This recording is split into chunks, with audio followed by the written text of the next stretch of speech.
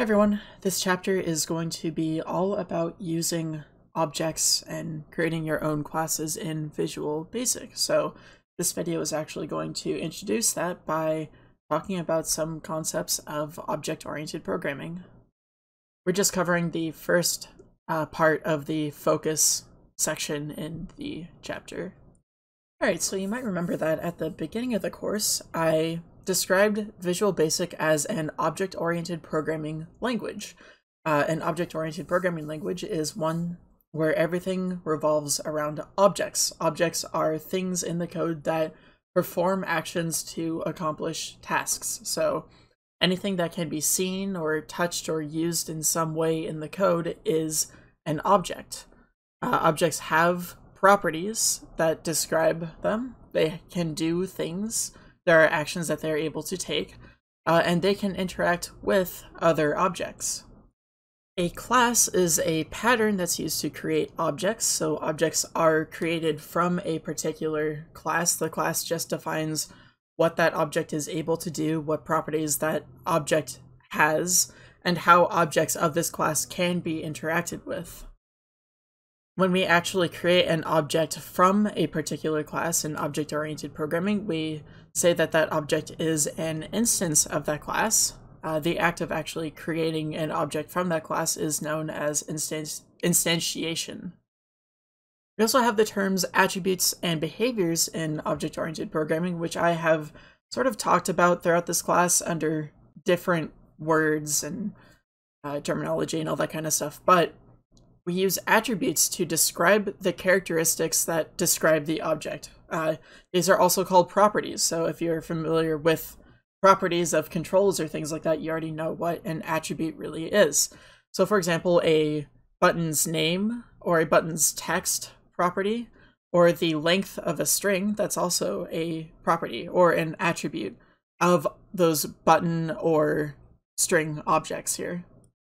And then behaviors describe what an object can do. Um, specifically, we have methods, which are operations that an object can actually perform. So, for example, the focus method of a, uh, a lot of controls, or the trim and to upper methods of a string. Those are all methods of their respective classes.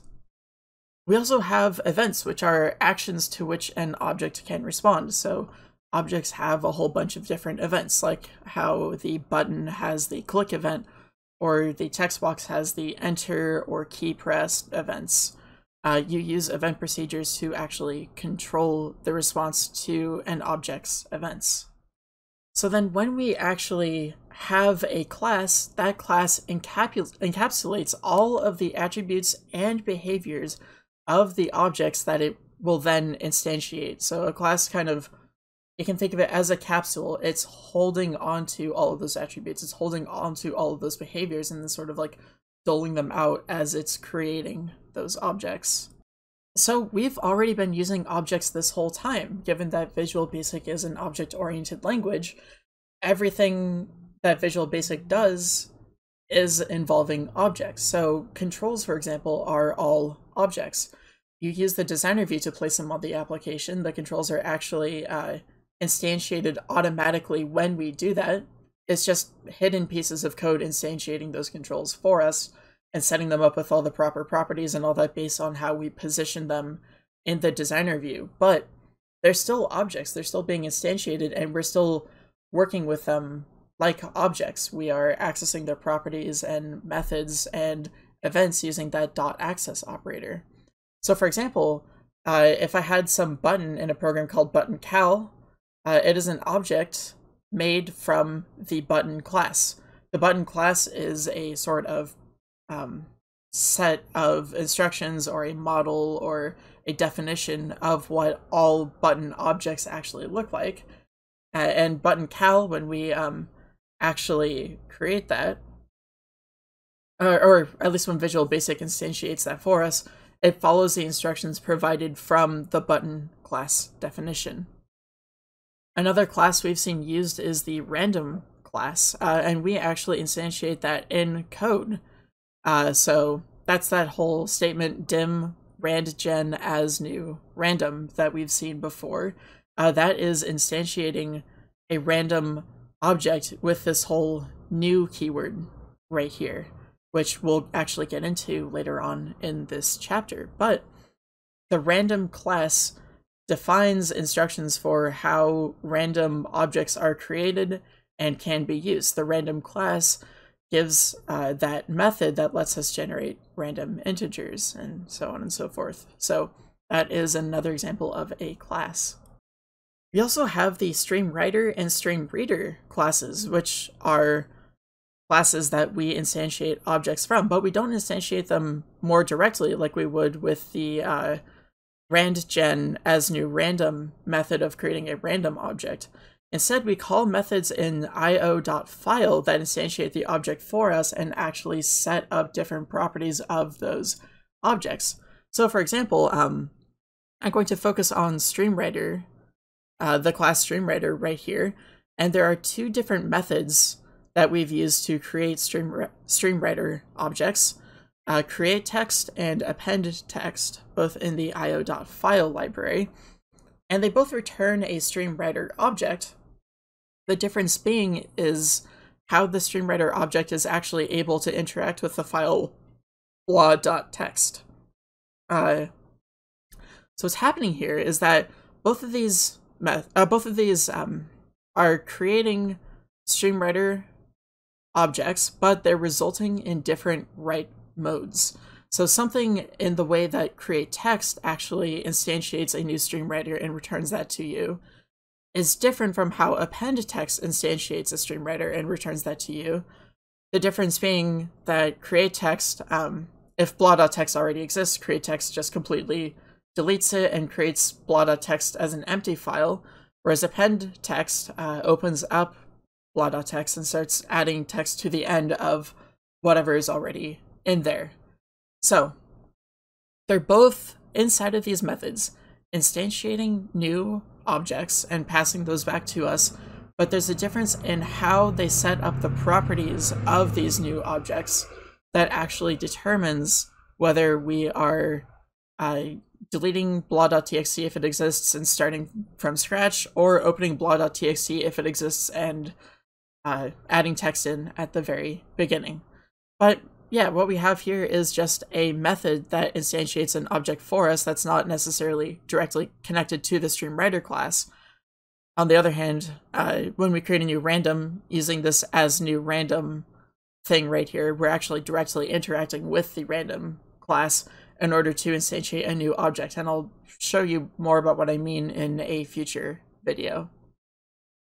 Some other objects that you are familiar with, uh, but maybe not the fact that they are objects are the array objects and the um, string objects that we've been working with for a little bit now. Uh, they all have methods and properties and their associated data and all that kind of stuff. Um, they're kind of wrapping themselves around smaller, or I, I guess they're more fundamental pieces of data, but then they provide additional methods and properties that are helpful for us when we are interacting with that data. We also have the items collections that belong to things like list boxes. Those themselves are their own objects. So the list box is an object that has access to some item collection object, which then has a whole bunch of items inside of it. All of those items themselves are objects. So we use objects all the time. Um, and it is now the difference is that we know that we're using objects and we're explicitly talking about things in in an object oriented manner. All right, so I've shown off this um, example before. These are four sort of abstract diagrams of classes right here. Uh, the course class, the teacher class, the student class, and the assignment class like this. I slightly modified it from when I first uh, showed off this diagram, uh, but the slight modifications are not super important here. But what we have for these classes are attributes and behaviors right here. Some classes have only attributes, some classes have attributes and behaviors. It would be also possible to have classes that define only behaviors but no attributes. But what I'm saying, let's say for the teacher class, I'm saying that every teacher defined by this class right here has a name and has some list of courses, and they're able to do uh, certain behaviors like teach students, grade assignments, and create assignments. Every teacher that is created from this teacher class that I've defined will be able to do all of this. Same with the student. Every student has a name and has a list of courses that they're taking, and the things they can do include viewing lectures, doing assignments, and studying. So we say that the teacher class, as an example, um, encapsulates the uh, attribute name and the method, this would be a method in this case, uh, teach students. But if we instantiated a teacher object, and let's say we use the name cbiz iris k, uh, CBiz Iris K is of type teacher or has been instantiated from the class teacher, uh, but we say that the type is also teacher in this case. Um, so CBiz Iris K, that's the object that represents me as a teacher, uh, has a name. My name would be the string iris Kohler, uh, and can do teach students. I would have the method teach students which is actually the method that I'm that I am performing right now. So the big difference here is that a class encapsulates the attributes and behaviors, whereas the object has its own you know values for the attributes and it is able to perform certain behaviors.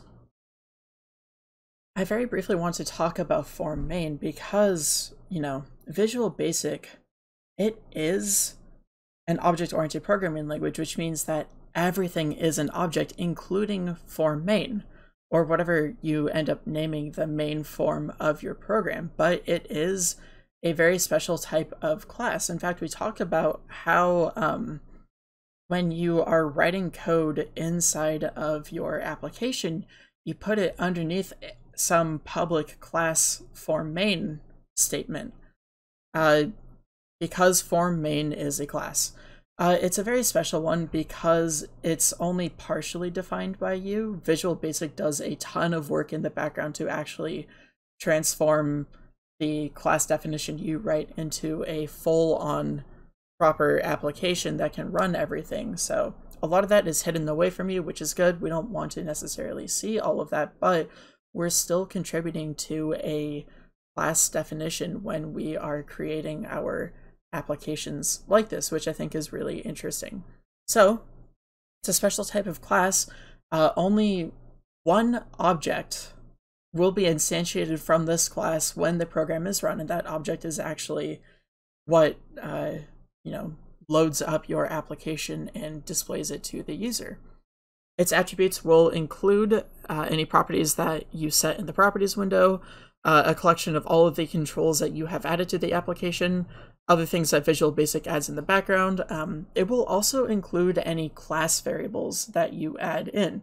So anything you put at the same level as your uh, procedures, but you define with, you know, private variable name as uh, some type. Those class variables are also attributes of the form main class. Uh, and the behaviors are going to be all of the procedures you write. Those will be methods. It will also have some events like the load event. Um, and then there are other things that Visual Basic adds in the background so that you don't have to worry about it. But form main is a class. We have been working with class definitions this whole time, but in a very limited sense. So the rest of this uh, chapter is going to be about how we actually create our own classes from the ground up without having all this.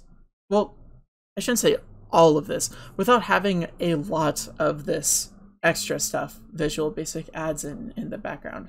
Any class that we make will have some extra background secret things that Visual Basic has just by the nature of it being an object, but we're not really getting into that in this course. So we don't need to worry about that so much. Uh, but we'll be making, we'll be making classes that we have a lot more control of in this chapter. Form main, we don't have a ton of control over. We just write out our methods and add our variables and set some of the properties in the designer view and that properties window. But other than that, um, you know, not a ton of control.